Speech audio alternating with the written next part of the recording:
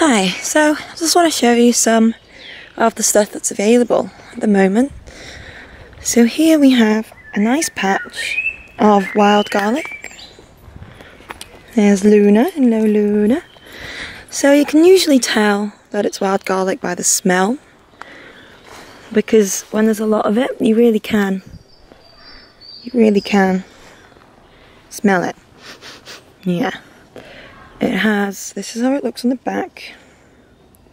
You can see it's got this line predominantly going down the middle and then these lines in even spaces running down the back all the way to the tip. And it's quite glossy. I know it's got stuff on it so I wouldn't necessarily eat that or maybe with a good wash. Um, and yeah you can see these lines on the front as well and that predominant one right there down the middle it's got a kind of waxy finish but it's not as waxy as say bluebells which you should really avoid because people do tend to mix these up for some reason and if the garlic smells like coming through, you could give it a crush, give it a sniff, and you could really be able to tell. And it grows like this. It usually is all clustered together because it grows and spreads quite, quite well. And I'll show you what the plants look like individually when I find some that will help me show this. Continuing on then, here we've got some, you see these lovely yellow flowers? and their leaves. So this here, you can tell, it's got that lovely yellow circle around the middle, that lovely deep yellow, and then that very, very pale yellow flower. These are primroses, and both the flowers and the leaves are edible. Chuck them in a salad, is what I've done. These leaves here, these big broad leaves, or these veins down the back of it, and this predominant line down the middle, these can be eaten, it's sort of like a bitter lettuce. So wash them, dress them, put them in a salad with maybe a bit of spinach and some other things. And a really nice edible there. Say hey Luna. Say hey Luna. Come on, we'll go this way. So I know we're in the midst of uh, lockdown, but I we're allowed one walk a day here in England. So my partner took Luna out this morning and I'm taking her out tonight. So I thought I'd film a walk in the woods. Now I have noticed that my camera's got really not very much battery, which is really unfortunate. Because I really wanted to show you some of the things you might find on a walk in the woods in England this time of year. What might be edible, and obviously species that are not. So, I mean, notably, you'll find that this time of year, spring, and lots of new things are growing and shooting up everywhere. This down here, this veiny plant here, I think that's either Adam and Eve or Lords and Ladies. Oh, there's a little bee on there, I think.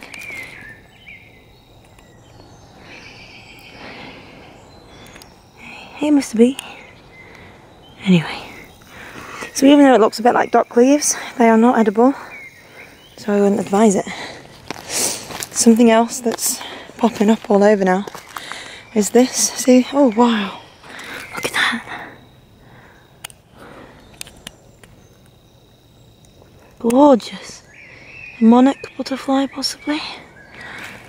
Oh. Anyway, what it landed near, and I'm trying to show you, without getting too close to the bees, of course.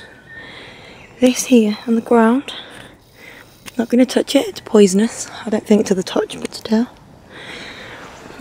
this plant here. It's called Dog's Mercury. And apparently it's a sign of ancient woods, which makes sense for around here. And it's popping up really everywhere. But it's a sign that is, you know, apparently it's a sign that a lot's going to grow or it's a place where wild garlic grows and as I've just shown you, this is definitely one of those places. So as I continue around today, I'm going to be turning my camera off and on just trying to show you what you might find on a stroll through England's woods. Okay. Now I've spotted something over here. And these are useful if you're camping and you want to start a fire Now, I've forgotten the right name, but I'll put it down. And it's known as the coal fungus. And you can snap that off, break up the inside, well, break up the outside, and on the inside there's a substance that burns very much like coal.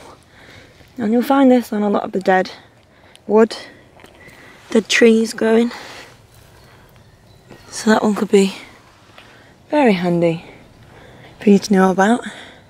In fact, if I go camping this summer, I might try it myself because I haven't yet.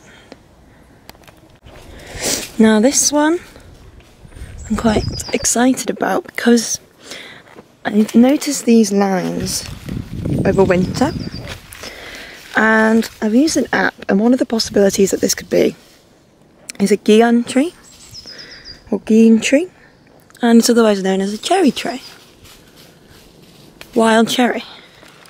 So we can notice we've got some flowers, um, some leaves rather, already starting to come out. And if it is a gean tree or a cherry tree, by summer, by about June, we should start to see some ripe cherries. See, we've got some more leaves here. So if anyone knows whether or not this is a gean tree, please let me know. And otherwise, um, if you see these yourself, you can keep an eye on them. Because obviously, ah, what's that? Up the top there. Does that look like a blossom? Could that be a blossom? If it is a blossom, then I can't really see from down here. Then this is likely to be a gean tree because cherry blossom is absolutely beautiful. So let's hope, fingers crossed, because there's a few of these in these woods, and I would really, really like some cherries. So fingers crossed. So I don't know if I have enough battery left, and I really, really hope so, because we're about to reach one of the biggest things of wild garlic in these woods, and it's it's gorgeous, and I don't really want to stand on it but I want to take you to the middle. So I'm trying not to stand on it as much as possible. And it smells brilliant. See all of this all of this is beautiful. Wild garlic. And the smell's really strong. And I'm not surprised so my camera battery died typical but um, I remembered I got my phone on me which will be okay just to show you the rest of what I wanted to show you here. So, now this camera is not as good because it's a bit smashed at the back. Uh, the cameras are a bit smashed, which is a real shame. But hopefully I'll be able to show you. So before I showed you exactly how to spot it, but you can see here that there's a lot of different leaves all at the same time. So what you're probably going to want to do is make sure leaf for leaf when you're either putting it in a bag or later when you're washing it that you have got the right thing. Now you can see Luna having the time of her life. I would try and stop her but there's little point. She doesn't understand wild garlic and grass I suppose. So she's going to stink of garlic later. That'd be fun for mummy. Hmm. Also check that you don't have eggs. Someone told me the other day that you can get snail eggs and slug eggs, they're like little white round things on each leaf, not on every leaf, but that's something to be aware of. And also you can see from, where are they? There were some leaves near me that were covered in what looks like bird poo, so definitely be prepared to wash everything before you eat it. Now each plant, this is an example of one plant, you see they're all coming from one centre point. And that's how you can tell it's one plant. So if you're harvesting, eh, obviously in a place like this, you can take a lot of it.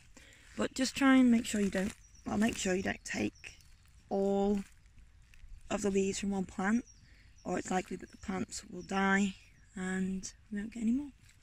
Also, if you don't know landowner's permission, don't try and dig for the bulbs. There's little point anyway. The leaves are very tasty and it won't grow back again next year. So there we go. There's the last little bit on wild garlic. Now this bit I haven't got anything specific in mind to show you, but it's just a really nice look at these woods. I think it's really good for our mental health at the moment to use our one bit of exercise a day.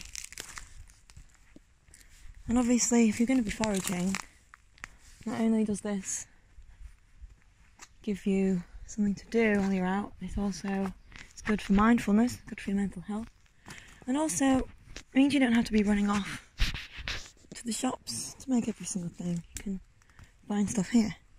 Now this is a better example of what I tried to show you earlier. It's primrose.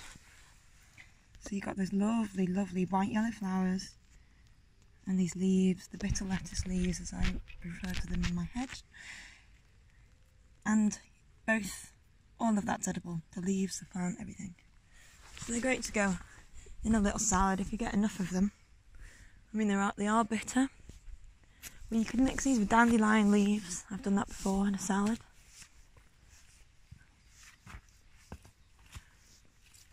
And it's just a great way um, to pad out what stocks you've got in the shop.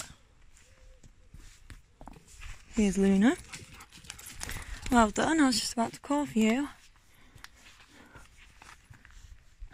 So, yeah, as I say, try and get out. See all this primrose here? Imagine if you were trying to get a lot of it. You can also use the primrose flowers to make a champagne. And there's so much of it here. I might actually do that next time. You having fun? Yeah? So yeah, you can use those flowers to make champagne. And I'll show you how to do that, as I say, maybe next time. Okay. Just if you needed to know, some very, very handy, very handily rather, we've got some dandelion. So, you can usually tell what dandelion is pretty easily. There's usually a flower here, but that's not present. You've got all these lovely primrose, some dandelion. Of course, you can make a dandelion a burdock if you find some burdock. But I think dandelion leaves look a lot like rocket, and in fact, they're like a bitter, non-peppery rocket. Oh look, Luna's found a wild ball. Well done, Luna. Well done. So yeah, if you were looking I've made a salad that's a bit like spinach and rocket. Well, a bit like a bitter lettuce and rocket salad base. But you're going to want to dress it because, as I say, it doesn't taste quite as nice. Now, while I'm at it, this isn't the right season whatsoever. You're not going to be able to get anything off this tree. But just while I'm next to it, you can see its buds starting to grow back if the camera focuses. As I said, my phone camera is really not very good. But this is a cobnut tree, otherwise known as an almond tree.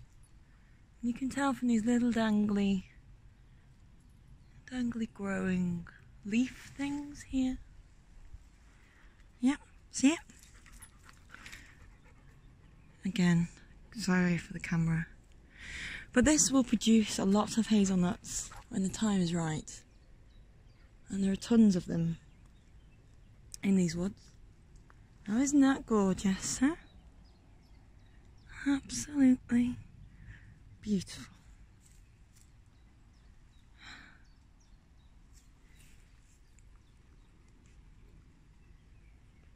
So yeah, the cobnut tree. Something else I spotted, hello, something else I spotted as I walked down these steps is this. Now you can see you got these fuzzy buds. I really wish this camera worked properly. Okay, fuzzy buds here. Maybe if we let it focus. Okay.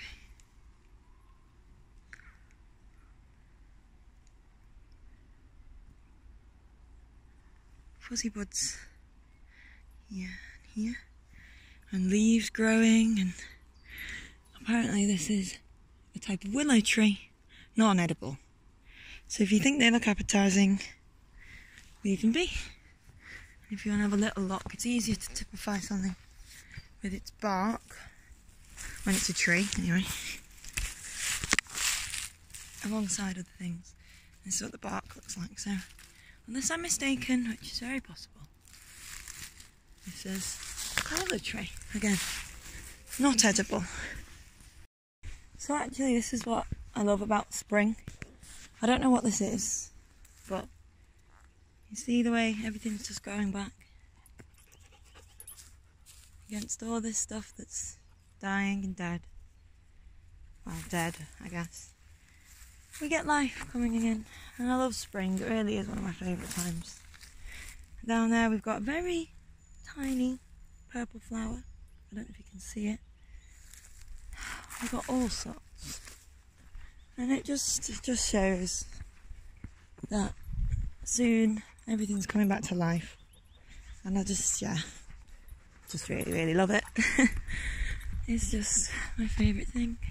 And this is why I'm devastated that this virus is coming round in spring because I just love spring. It's not too hot to go on bigger walks and it's not too hot for Luna because in winter it does get really hot.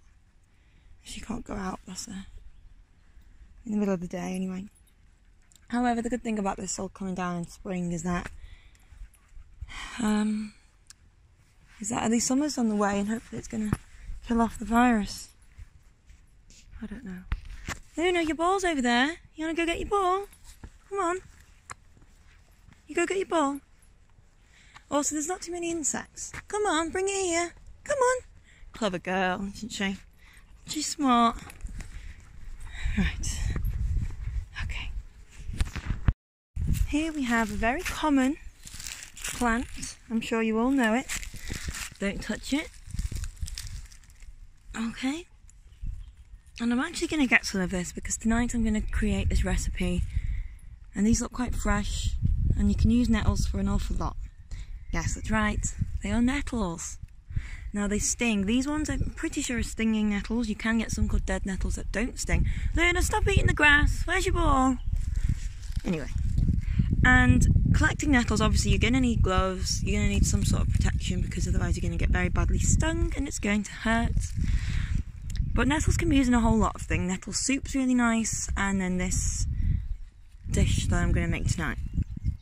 So you can identify nettles quite easily from their triangular kind of leaves. Now I think I'm going to do this video again because literally everything I've tried to show you on this phone is just not not coming out well. As I said, the cameras are smashed. Um, but yeah, you can collect these, not in massive quantities, I would say, because again, you can get stung. I mean, unless you're going to make soup with them. And this is going to go very well with, I can see actually what I'm going to collect down there. Um, I'm going to show you in a minute. But first, I'm going to put my gloves on, get my knife, my foraging knife, and put some of these nettles in a bag ready for tonight's dish. So along these two ridges is the last thing I want to show you. And there's some over here and there's some over here. I'll try and get it over here because these look fresher, um, newer. But you might not be able to see because the sun, the sunlight is really shady over here. So you see these tubular looking, funny looking things really, growing up out of the ground.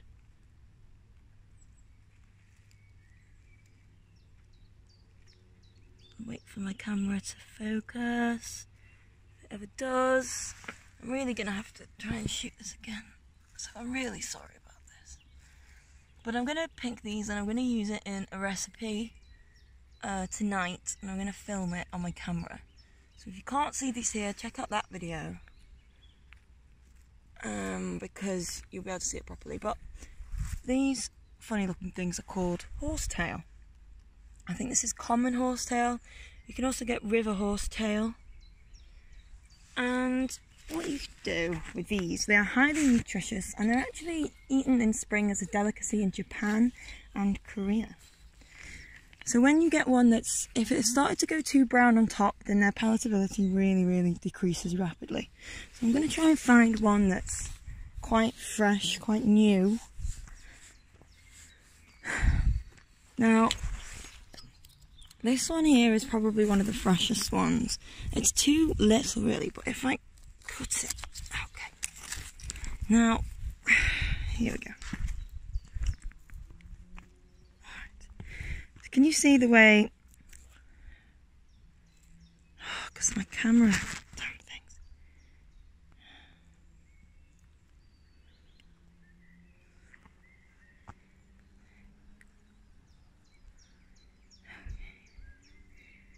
These tubes. Oh, this is so annoying.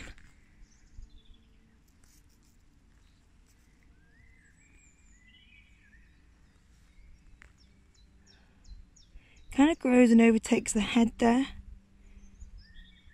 And this does peel off if I put this away. You can see that this peels down. You can get that off, revealing a very green, fertile shoot. So there's two things you can pick with this. There's a vegetative shoot and there's a fertile shoot. And this here is a fertile shoot. And this really is a, a really good example of the type that you want to get. Because once they've started to brown, apparently their delectability really goes down. But I couldn't find any of these the other day, and I did actually eat some that looked more like this. And that was totally fine. They're really highly nutritious. You shouldn't eat too much because there is some um, something that shows that in, for instance, if you are an alcoholic, they can give you dermatitis, which is kind of skin thing. But generally, they're eaten in spring. Lovely vegetative, um, fertile shoots. And um, still trying to get a good look at this. I know it's my phone camera. And I'm always tempted not to upload this because of the quality, but it's been quite a lovely walk.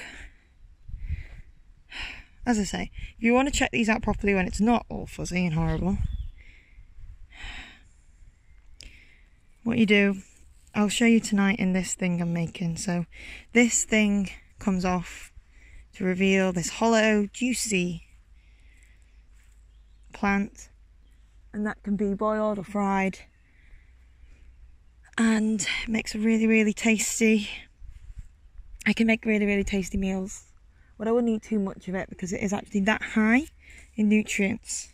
Um, I think it's something like that. I'll look it up before I make this video tonight. But that is edible fertile shoots of horsetail. This is the last thing of the day that I want to show you. This is three-cornered leek. It looks a lot like grass, but it's a type of allium. And allium is the species name for onion. It's a type of wild onion. It can be used a lot like spring onion. And it's actually an invasive species. So if you want to get the bulbs, you can actually pickle the bulbs to make pickled onion. Um, and you can you can dig some of it up without worrying too much because as I say, it's an invasive species. So what I'm going to do, I'm just going to get my knife out.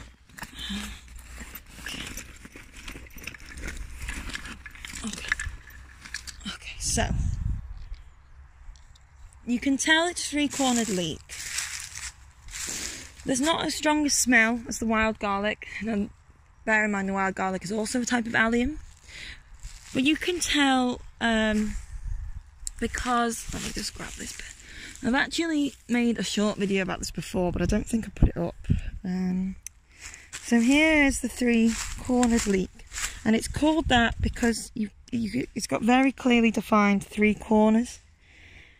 Again, it's a stupid camera, but it's got this ridge on the outside, the ridge in the middle, very, very, you can, it's, it's always in this shape, even if you squish it. And then you've got the ridge on the outside.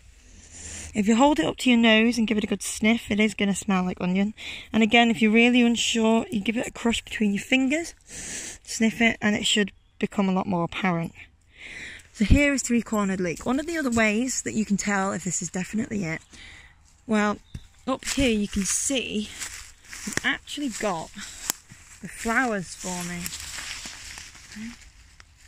Again, like wild garlic, uh, the, the other type of allium, the ramsons, that does flower, but the flowers are different. These look a little bit like bluebells, except of course they're white.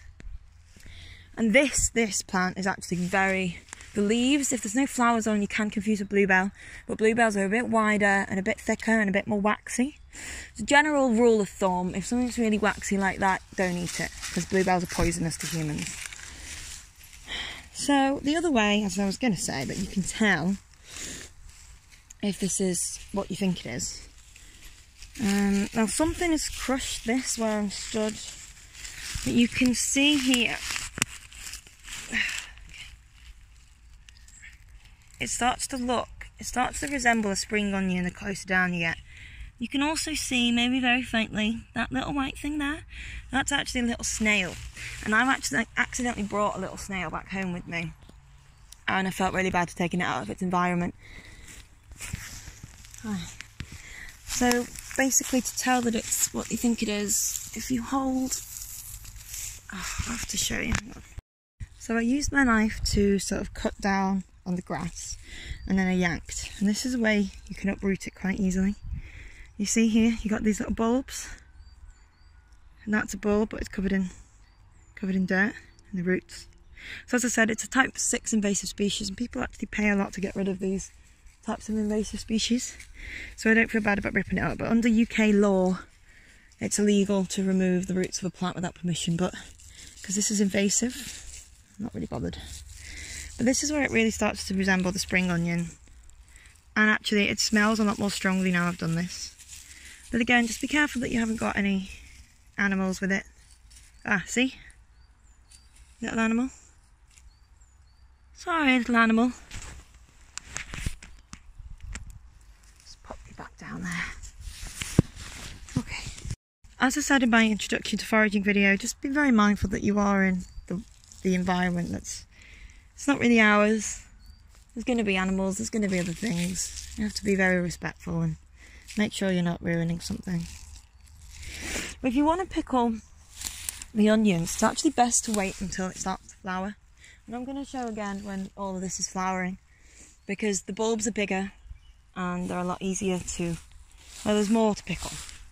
I'm going to show you that later, but essentially, that's the last thing I'm going to show you today. Um, and checking later, I'm going to use this and the last two things I foraged for to make a delicious meal. Um, so I'll see you then.